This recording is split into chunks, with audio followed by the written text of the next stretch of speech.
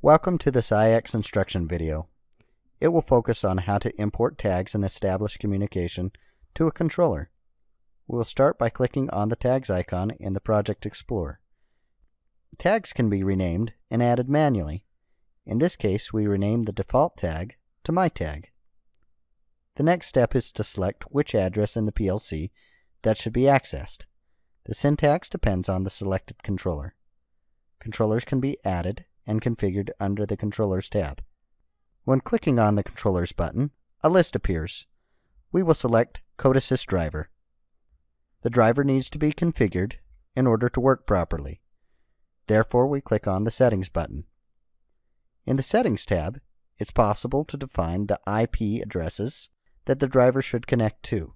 In this case, address 127.0.0.1 is used. If you're unsure about settings or addressing, a help file can be accessed by clicking on the Help button.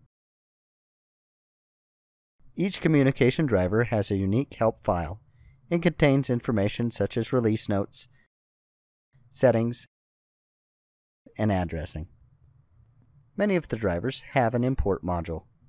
This means that tags can be imported from the tag files generated by the PLC programming software. Tags are imported by clicking on the Import button, followed by the controller that tags should be imported to. An Open File dialog will appear when clicking in the text box. Then we need to navigate to the file that contains the tag definitions. IX will present all tags in the tree view. By expanding and selecting nodes or tags, we can decide which tags to import. The imported tags will appear in the tag list when finalized. The tags have now been imported and can be used. The next step is to build a simple process picture and connect tags to the different objects. The screen will visualize a small tank park. We will start by adding all static graphics. We need to add two rectangles.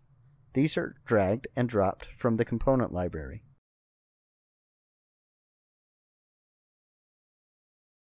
Next, we select the tank picture and add it to the screen.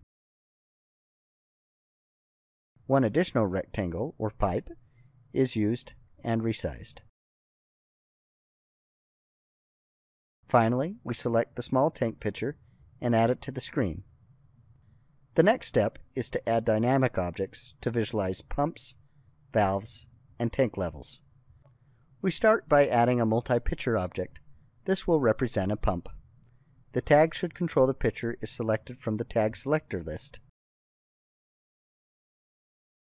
Now we need to select which pictures that should be displayed. The first picture will be displayed when the tag value equals 0. The second picture will be displayed when the tag value equals 1.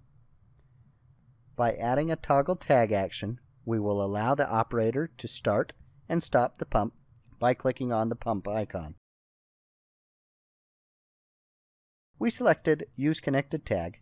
This means that the action will be carried out on the tag that controls which picture that is displayed. There should be two valves, therefore we simply copy and paste the pump icon. The object's position is moved to the second pipe.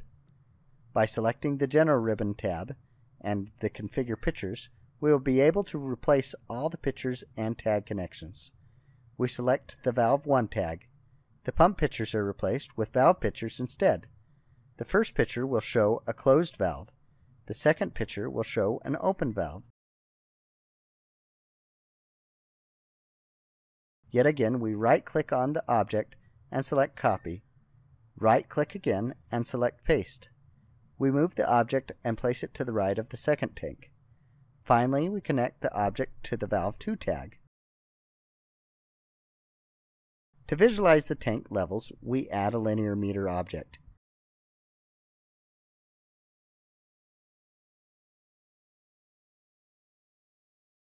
We need to change the orientation to vertical. The object is then connected to a tag, in this case, tank level 1. Finally, the object is made transparent, and we remove the scale. We also resize the object slightly to make it easier to see the current tank level. The object is then copied and pasted.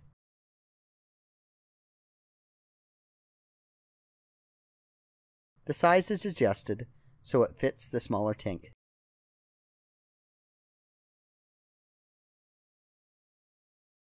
The meter is then connected to another tag, in this case, tank level 2.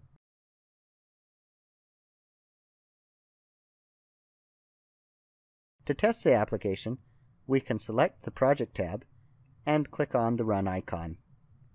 The simulator will start and communicate to the configured controller or controllers. The simulator is now running and it communicates with the Code runtime. When the operator clicks on the pump, valve tank levels will start to increase and decrease.